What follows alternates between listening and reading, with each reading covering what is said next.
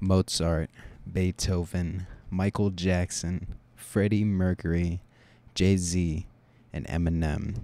What do these people have in common? They have all created music. That's obvious. But what's more important are their differences. They're all different people from different walks of life that make music for different reasons and for different people. There's a music genre for everyone, but not everyone likes every genre, and not everyone likes every song in their favorite genre. People have their own playlists with different songs, and no two playlists are the same. People use music to express their emotions. If you're sad, you can play a sad song, or to cheer yourself up, you can play a happier song.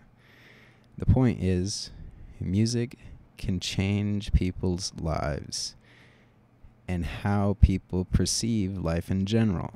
That's why we love it. Music makes life better, and it has absolutely made mine better.